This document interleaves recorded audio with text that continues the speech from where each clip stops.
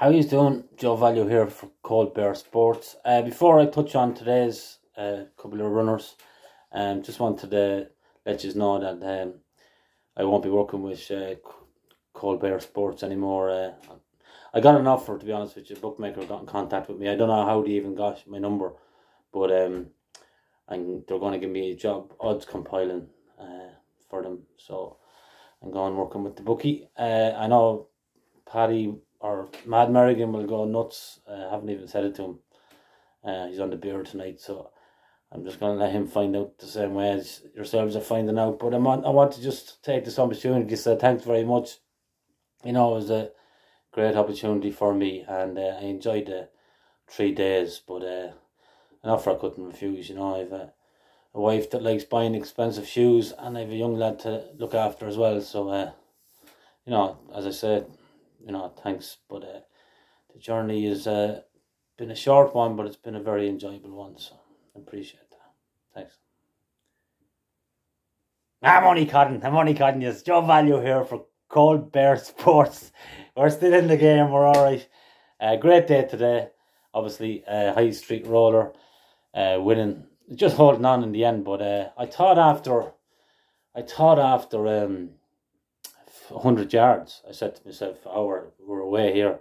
This is going to be happy days. She jumped the front, jumped uh, the first in front. And um, what happens then? Some rag comes up and takes her on, and she got a bit unsettled. She was running a bit free. But fair play to Darragh O'Keeffe. You know, he took up the running again, jumping there. I think she jumped to the front. I told you her jumping was unbelievable.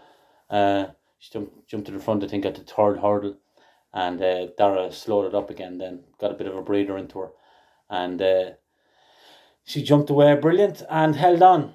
Uh, so that was brilliant and fair play to Anne Marie Quinlan and Jack Ryan for breeding her. They're just my neighbours, as I was telling you yesterday. And I believe there's a a two year old called uh, half brother. Uh, he might be for sale. He's by famous name. Yes, I was looking at him there today. He's a beautiful horse. So uh, it's exciting times. There's another chap, a friend of mine, has a uh, half sister to her by um, ooh, Jetaway. So um, yeah, let's look forward to for the Queen Mother there, the Queen Mother herself, Ring Street Roller. So uh, yes, that was great. She won, and then uh, what had we then? Um, winner takes all. Yeah, um, Howie was ten to one. Uh, I don't know. The odds compiler must have been on the bottle for the week. But um, you know, uh, well backed and won very well, and I think they might be thinking about going for the Galway hurdle now. And uh, if he take a bit of beating in that, I'd say. But uh, so that's the crack. Uh, on to tomorrow, so Sunday's selections. Uh, we'll start off in the five twenty five tomorrow. An interesting horse here. I fancy uh, number eleven. Auckland is the name of it, trained by Tony Mullins and ridden by Danny. Uh, she's three. This horse, uh, Auckland, he's three things in common with uh, Princess Zoe. Uh, the trainer, obviously, same trainer. Uh, both of them are greys, and uh, both of them were purchased from Germany. And Auckland is nowhere near as good as Princess Zoe, never will be. But I just thought it was interesting. Um, he was favourite, odds on favourite to win his first ever hurdle race. Um, in Gowran Park, which is a juvenile hurdle. Um, and he you know, he didn't uh, pull up any trees, and he hasn't been great in his three subsequent runs. But I thought he did show a bit more in Downpatrick the last time. He was staying on a bit, and he got short of room uh, late on, and you know, it was just eye catching. He, to me, he looked like a horse that wanted to step up and trip that day, and uh, you know, Tramore here, two mile five.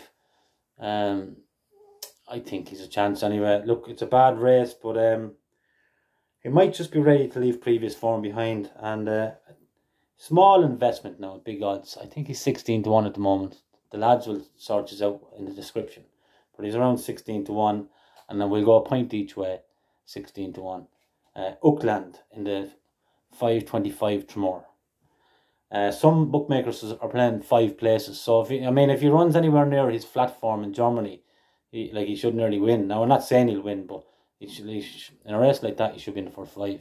Anyway, so, right, that's him. And at 3 o'clock at Market Rasen, uh, this is my nap of the day. It's called uh, Go On Brycey Lad. He's 3 to 1 at the moment. He was 7 to 2.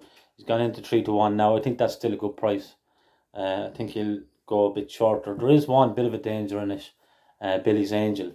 She's a bit quirky, but she has ability, so she'd be a danger. But the rest of them are not great. Like and third favorite, Shady Ladder, whatever you call him, is like I have more gears than him, and I don't have too many gears now. I can tell you. So, um, yeah, go on, Bryce lad. He's only a five year old, and he's running running against mainly uh, exposed rivals. Uh, thought the last running last day his running first last was very good. He jumped very well in the main, but he ploughed through the second last. He tried to bring the second last home with him, and uh, that stopped his momentum. And uh, he still kept that fairly well. Now he's inexperienced, so we're not going to go mad. We're going to, you know, we have we got a few quid today, so we're going to hold on to it, and uh, we're just going to go for a two point win on him. Uh, go on, Brycey lad. So I think if you know if he jumps well, and gets clear around, uh, he should be bang there. But uh, as I said, we've got a few quid and we'll hold on to it. So that's my Sunday selections. So uh, thanks a million for the kind comments, by the way. Uh, the support is is fantastic, and you know the, the nice comments were uh, very much appreciated. We'll keep working hard to try and get you the few winners. Don't worry about that. All right, over and out for Coldbeer Sports. Joe Value.